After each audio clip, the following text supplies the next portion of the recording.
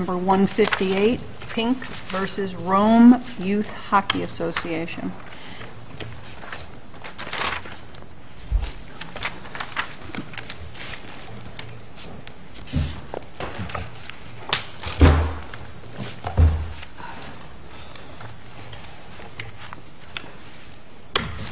Thank you.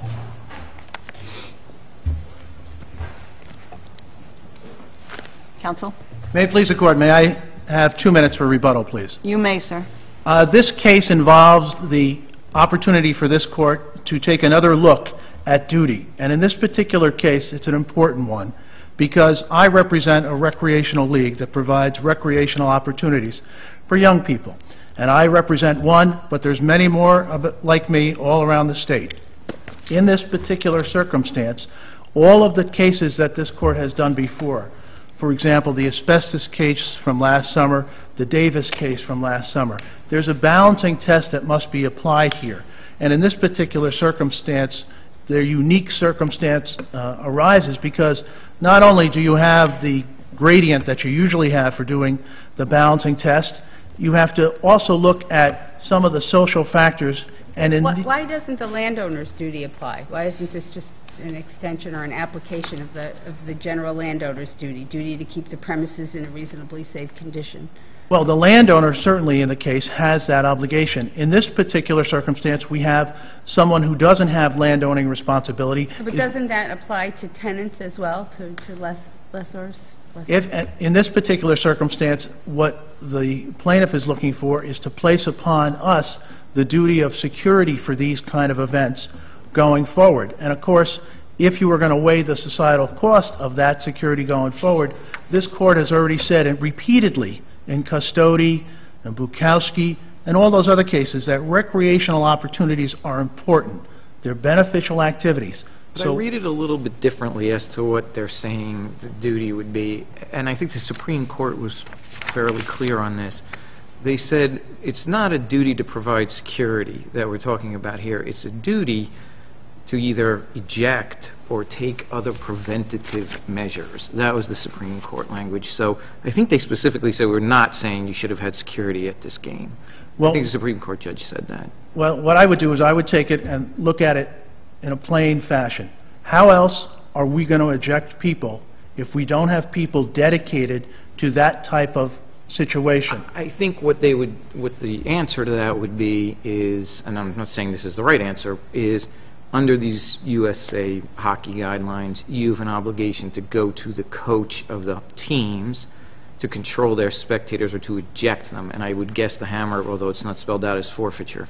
But, so that, I think, is what they're saying. You didn't do that. And that's because, as in many other youth facility, youth organizations throughout this state, we don't have people at every single game. We depend upon. But you have a referee.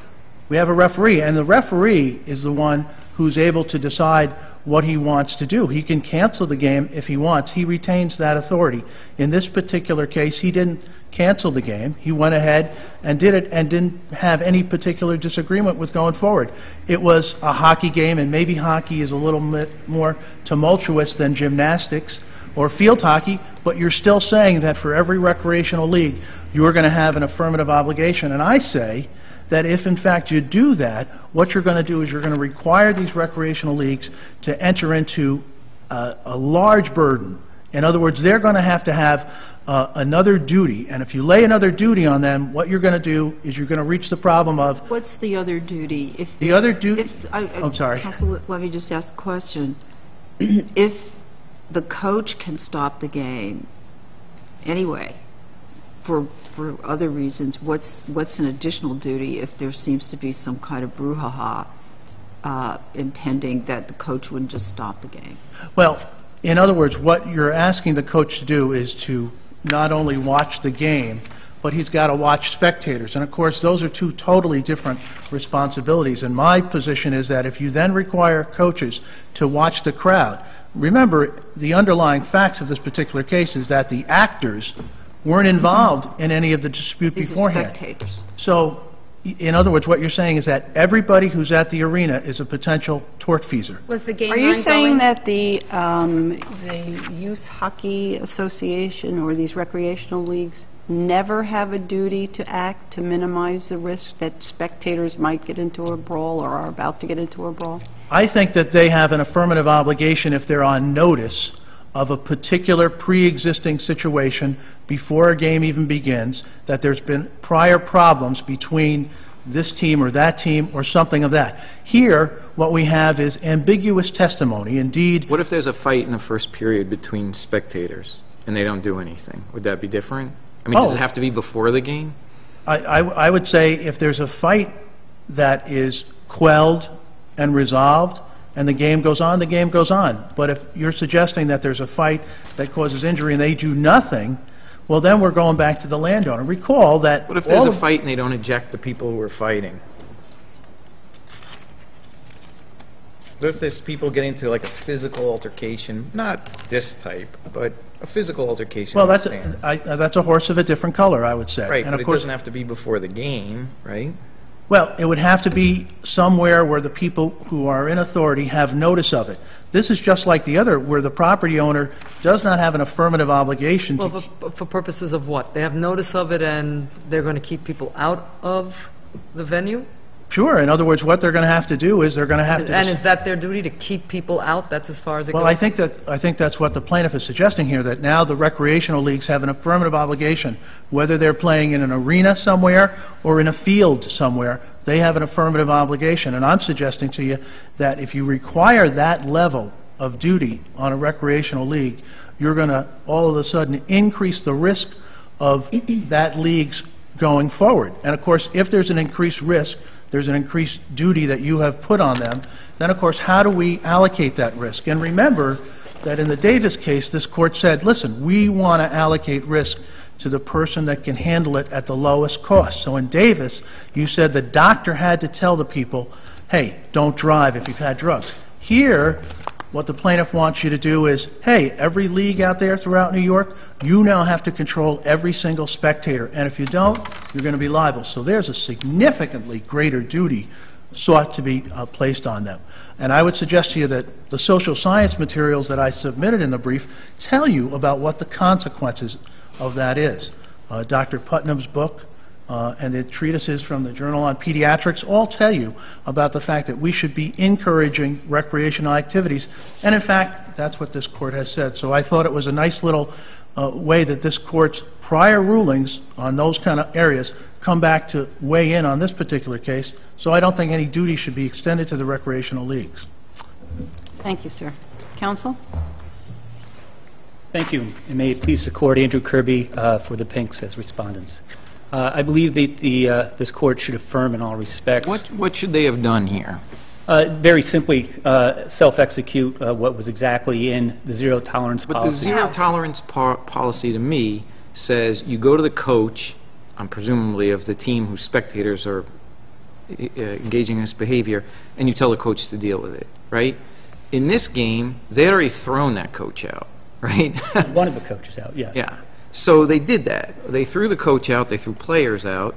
They warned, I think there's evidence in the record, some spectators who were near the penalty box. And so isn't that a reasonable response to what was not at that point a physical altercation?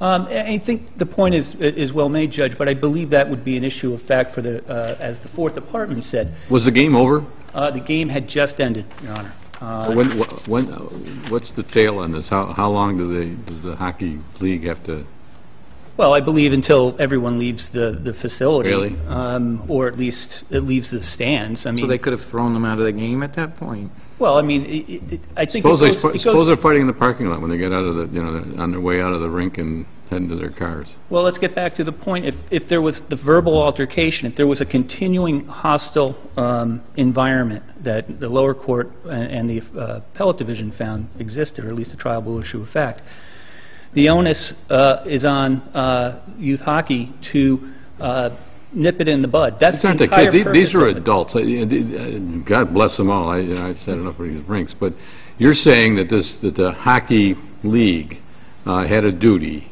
uh, after the game to make sure everyone is, is out safely and in their cars, uh, so that they don't yell and scream and shoot each other. Well, I'm, I'm advocating for the, the duty that existed under the facts of this particular case. This Right. fight occurred immediately upon and as a result of the, uh, the bickering, the yelling, and the vulgarity that was traded between basically Could two, have two occurred groups. as a of women. result of their coach getting thrown out, because I think this is relatives of that coach.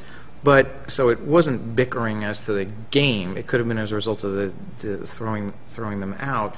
But it seems that you have a very strong act, you have a criminal assault. Ricci, Ricci pled guilty to criminal assault. Right. So our case law, there's a case about a concert where there's an assault and we say it wasn't the level of criminal activity that usually happened at concerts, so it broke the, uh, the causation or the duty change scope, however we want to phrase it. The appellate divisions have said that, especially I think third or fourth or just third with Syracuse University case. Right. So you have a criminal assault here. So what gives them this obligation based on the facts if we accept them for purposes of this motion? uh, in that Syracuse O'Connor hockey game, in which there was a sudden, uh, described as literally seconds between the verbal exchange that preceded the, uh, the uh, criminal assault. And in that case, the court held, and as they, I think, should be held up in, in this court, there was not any indication, a lapse of, or a, a period of time in which that increasing hostility took place. And that was the distinction in that case. And that's a sudden assault, but there's no, indi- here what you have, again, reading it in the light most favorable to, to the other party, you have people engaged in inappropriate behavior, yelling, taunting, you know, obscenities, but it's a sudden fight that breaks out at the end of the game, exactly as one of the cases, and I can't think of which one particularly it is right now, where a player's coming off and this fight breaks out with a spectator. It was the Syracuse. That's the Syracuse one, because then there's another one with a player and a, and a ref, and it's a sudden assault, but you're saying because we had parents yelling, and uh, we've probably all been to games, engaging in behavior that's offensive, clearly, they, this escalates to the point where you should have taken some measure to prevent a criminal assault. Well, I'll put it to you this way, Judge. In the, in the moving papers of the defendant, uh, the zero tolerance policy uh, that should and was not filed in this case uh, would have led to the ejection of the people who ultimately started this fight. Can that create a heightened duty? I don't believe it's a heightened duty, Judge. I think it's an industry standard that uh, USA Hockey, who's in the best position to monitor all their local sports associations, had created, had recognized the problem. It's a very specific problem. It's that these verbal altercations at these, uh, at, at every level of amateur hockey has led to numerous physical assaults occurring at games.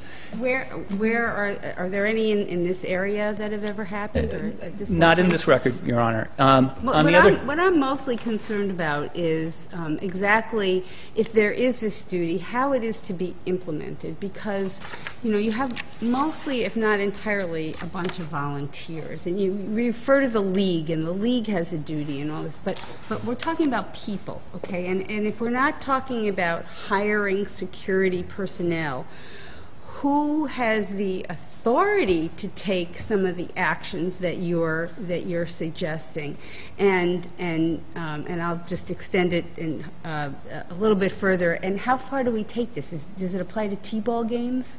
You know, uh, uh, outside. You know, I'm not, where, I'm, where's the limit? I'm not a- advocating for this, and I think what counsel tries to do is make me look like I'm um, putting this huge burden on all these Well, sports. what- we Uh, need to know that, you Exactly. know. I'm saying for this particular league that's under the umbrella of USA Hockey, they were told that you But have we to... can't make a rule that applies to one league, I don't Well- think. We have to make a, a more general rule, and I'm trying to, I'm trying to I- figure out where you think that rule should fall. I and equate the, it should be. the the common law of, of the cases uh, that I cited in my brief that all talk about the heightened tension going on through the game, mirror exactly what the, the duty that, uh, the, uh, and the purpose of the zero tolerance policy. But those cases mostly have hired security, that, you know, the Well, the- not the not necessarily. and- They- and They the- have, they have, there, some have to deal with restaurants, some have to do with uh, uh, bars and discos. Uh, Here, And, and I think it's very Counsel, uh, with the zero tolerance policy, how long does the altercation or the verbal back and forth have to go? Would it be one obscenity by one person and then that person is ejected? or- Well, I think it's clear cut on, on the way they've, they've created it, and they know their, their fans and their spectators and their parents best. And they, their rule crafted for their, for their uh, participants. And But by the can't way. they give themselves a heightened standard? I mean, because you're talking about children, you know, these are 13-year-old players, can't they say, if someone engages in obscenity, throw them out? But does that mean that, in- that creates a duty of- on them to, Well, it's- that's going to lead to liability duty- for somebody taking a swing at somebody else? It's the same duty that we've recognized time and time again, where there's heightened, where there's a gathering of people um, in a public place that are invited to be there. And in this case, the people who are, are doing the, the, the violation of the zero tolerance policy are the parents who are part of Wouldn't these your rule encourage them to have a not-so-zero tolerance policy anymore? Because we don't want our leagues to have liability. So we had this rule, we were trying to protect these kids, you know, bad behavior by parents, we understand it's a problem. But if that's going to give our volunteer organizations liability in every county, then, you know what, we'll have a 70% tolerance policy. Well, I, I think I want to go Or back none. to this particular record. After this incident took place, it was very interesting. The presidents of both associations, of both teams, investigated. Mr. Mercurio, who was the president of the Whitestown team, is no longer in the case, said the best solution going forward is we reiterate the policy, we designate one of our um, uh, uh, members to, to watch the uh, tournaments.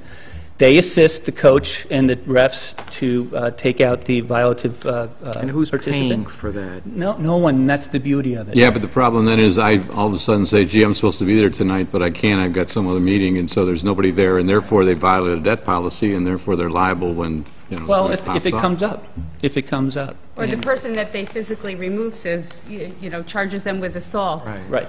Well, what happens, and what Mr. Mercurio said, and it's at 1410 in the record, the, the procedure to follow is if they don't go, you shut the game down. You stop the game.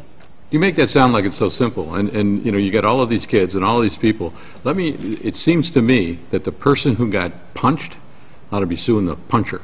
And you settled with the puncher, I Yes. believe, in the city of Rome. Yes. is Who believe thought. they had the same duty that Mr. Kelly is now fighting Oh, that- against. But, um, but, and, and, and Mr. Mercurio said, if no, none of that works, simply call 911. And couldn't any of the spectators have done that? They could have, and maybe the members should have done that. But all I'm saying is that when, when Rome Youth Hockey and uh, USA Hockey says this is a policy uh, that is effective in curbing a known uh, occurrence that is occurring during our games, I believe it doesn't heighten any duty. I believe it's the same duty that's been recognized over and over again. Thank you. Thank you, sir. Mr. Kirby? Thank you, Your Honor.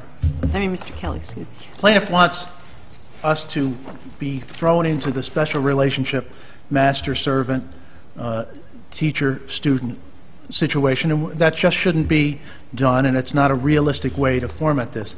The fact that we had a zero-tolerance policy uh, is merely not binding on us, because that's what the Gilson versus Metropolitan Opera case said. We don't have a heightened duty, it's just a guideline. And of course, there is no proof of great violence throughout the land.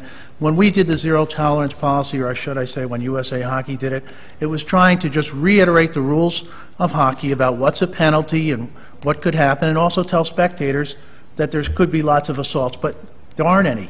There's none in the record, there's no cases about it, and it was just merely trying to direct people's attention to proper behavior. That's it.